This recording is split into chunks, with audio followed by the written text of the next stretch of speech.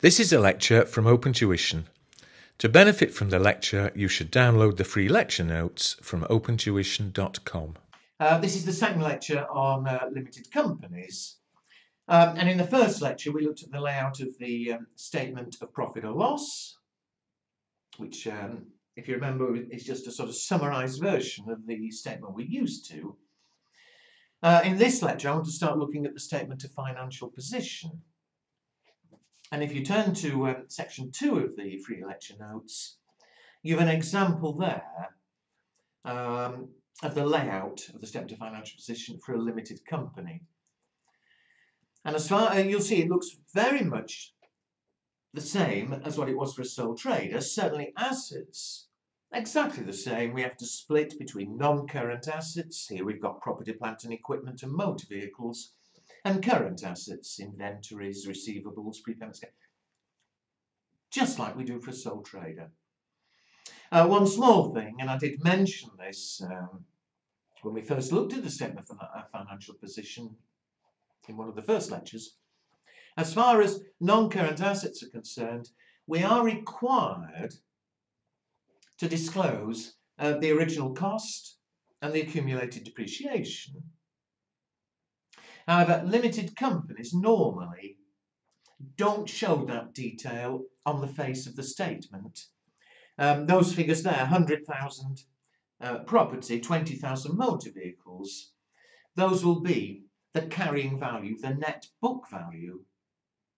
So we don't show the detail on the face of the statement, but there will have to be a statement attached which does show the breakdown, does show the cost, the accumulated depreciation for each type of asset, and how they've changed over the year. However, otherwise, assets, no problem. If you look at um, the capital liabilities, um, liabilities, again, just like a sole trader. Non-current liabilities, here they've got 10% loan notes. As usual, they're liabilities that are, payable in more than 12 months from the date of the statement. Um, here, 20,000, the 10% is the rate of interest that they're paying. And current liabilities, uh, liabilities payable within 12 months. Uh, trade and other payables, jumping a bit short-term borrowings, overdrafts. Um, tax, if there's tax owing, as I mentioned in the last lecture, any tax owing uh, will appear as a current liability, uh, and we do show that separately. However, the big change is the way we show capital. You'll see there capital and reserves. And there's where things do look different and we've a bit of explaining to do. Now you'll have to be patient with me because obviously I can't explain everything at once. We'll have to look separately at what we mean by uh, share capital and reserves and how they appear there. And so, as a start on it, if you turn over, so I can compare the way we set it out, limited company as sole trader, have a look at example one. Alex is a sole trader and Bertha is a limited company. They both start business with capital of 10,000. Alex sole trader, he'll be putting in capital of 10,000. Uh, Bertha's a limited company, so there'll be several, several of us, maybe 10 of us, each put in a thousand, whatever, but there's capital of 10,000. They both make profits in the first three years of trading. If those figures there, 5,000, 7,000. So they both make the same profits. Uh, Alex, because he's a sole trader, uh, he'll be taking drawings. Then you've got there drawings, first year 1,000, second year 2,000, third year 3,000. Uh, Bertha, with a limited company, instead of drawings, the shareholders, the owners, will get dividends. Now, I'll say a lot more about dividends later, but dividends is just like drawings. Drawings is what a sole trader gets out of the business for a limited company. It's dividends. Fine. Well, what we're going to do is we're going to show the capital bit of the statement of financial position for each of the three years, for each of the two. Now, I'll do them side by side. As far as a sole trader is concerned, which here is Alex, at the end of the first year, how would it appear? Well, the original capital was 10,000. So on the statement of financial position, we show capital 10,000. And if you remember, we add on any profit for the year. And the profit for the first year is 5,000. And we subtract any drawings.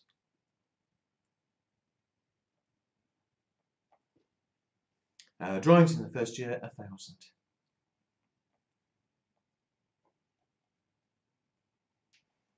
So appreciate, I'm just showing the capital part of the statement. You know, you have all your assets, uh, we'll have the liabilities.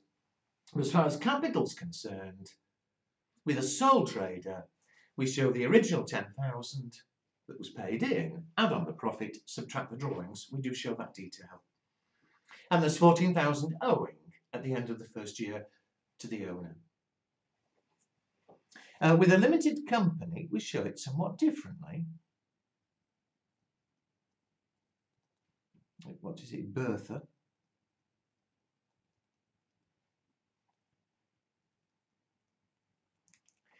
Uh, first of all, uh, the capital, I don't think any problem here, uh, the capital of 10,000, we call it share capital.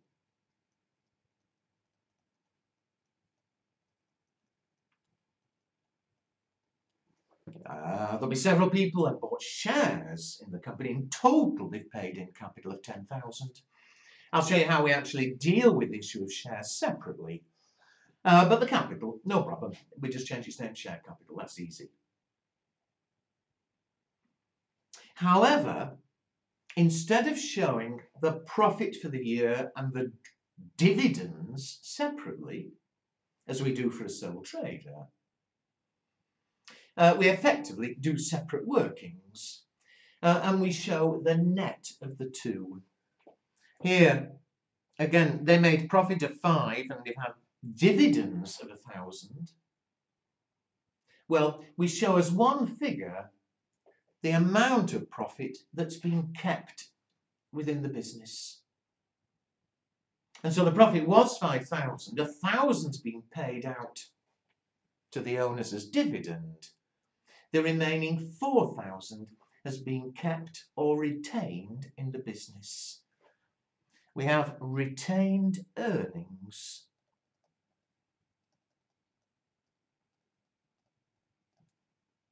And there would have been separate workings. We'll say, ah, the profit was a thousand, uh, sorry, was 5,000. But shareholders took a thousand of that, the dividend,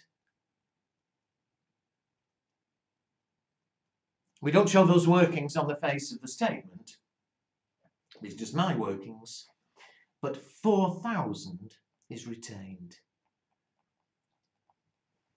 And so, of course, at the end of the year, the total owing to the owners is 14,000 in each case. It's just the presentation of it. With a limited company, share capital 10,000, the retained or the kept earnings, 4, total 14. Uh, to show you the full picture, let's look at the second year.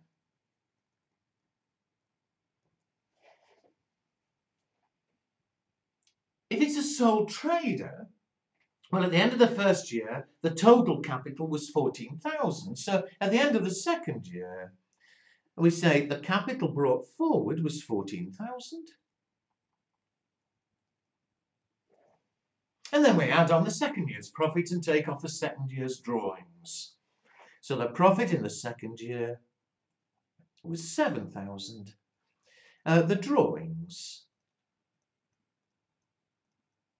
in the second year were 2,000. And so the total at the end of the second year, 19,000. Uh, for a limited company, um, two things. First of all, the share capital, the original capital paid in, we always leave separately and is unchanged. The share capital remains at 10,000. That will never change unless uh, they issue more shares, but we're going to deal with that later. uh, we show as a separate figure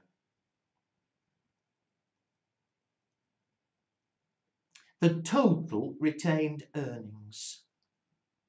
The total earnings that have been kept within the business. And what is it? From last year, there was already 4,000 that had been kept. This year, there's another 7,000 profit, but some of that profit was taken by shareholders as dividend. The dividend 2,000. And so the total retained earnings now, the four we had plus another five retained this year, a total of 9,000. And so again, the total owing, 19,000. So, sole trader or limited company, the total owing to the owners isn't any different. It's the way we present it. Limited companies, share capital stays at 10,000. Retained earnings is showing the total profits that have been kept in the business. The total profits, uh, not just this year, not just last year. Well, hopefully you've got it by now, but let's just make sure, let's do the third year. Uh, again, uh, with the sole trader, uh, when we come to show it at the uh, end of the third year, we say, ah, well, the capital brought forward at the end of last year, start of this year, was 19,000. And then we add on the third year's profit, uh, 10,000. And subtract the third year's drawings, 3,000. Which means the total capital has now gone up to 26,000. And so there's the total owing uh, to the owner. It'll be exactly the same in total for a limited company. But again, the presentation is different.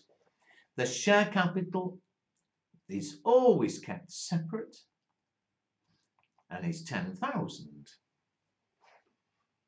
The extra owing is all the profits that have ever been kept within the business, the retained earnings.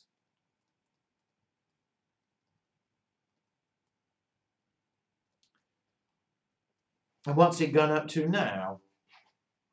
It was all, all already 9,000.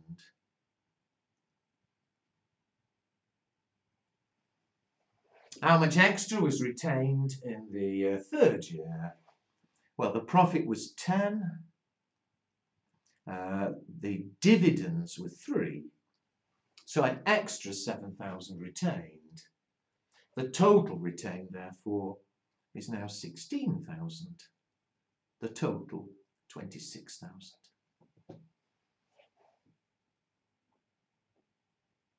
And so, uh, there we are, this retained earnings. Uh, and the retained earnings are the most obvious reason, of course, why from year to year you'll expect shareholders, the owners, to be owed more on the statement of financial position. As you'll see, there are other reasons I'm coming to.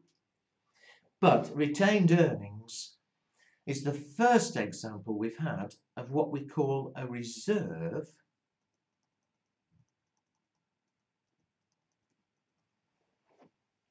And what a reserve is, it's, I will write this down, but it's anything extra owing to the shareholders above the share capital. You know, they're always owed the share capital. Anything extra owed to them for any reason is called a reserve. So it's anything extra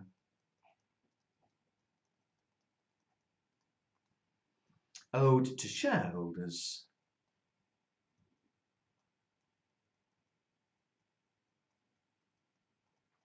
uh, over the share capital.